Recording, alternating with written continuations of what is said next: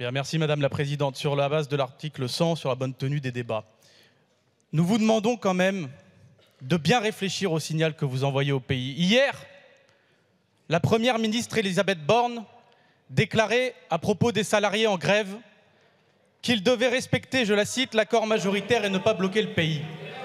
Nous ne vous demandons rien d'autre que de respecter l'accord majoritaire au sein de l'Assemblée nationale et de ne pas bloquer le pays. Ne vous enfermez pas dans le syndrome de la forteresse assiégée. Vous savez, monsieur Bruno Le Maire, lorsque vous déclarez que nous nous sommes mis d'accord sur des amendements, non, ce n'est pas pour le plaisir de battre le gouvernement.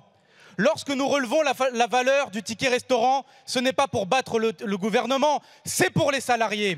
Lorsque nous faisons la demi-part fiscale pour les veufs et les veuves d'anciens combattants, ce n'est pas pour le plaisir de battre le gouvernement, mais pour les veufs et les veuves d'anciens combattants. Lorsque nous faisons la taxation des super dividendes issus de vos propres groupes, puisque vous parlez de vos rangs et de votre cohérence, ce n'est pas pour battre le gouvernement, c'est pour le partage des richesses. Nous vous invitons à prendre au sérieux la question démocratique, non pas pour le plaisir de bloquer. Nous avons fait des beaux débats, mais parce que la démocratie suppose que vous preniez au sérieux les amendements de la majorité de l'Assemblée nationale qui ne représentent rien d'autre que la volonté du peuple.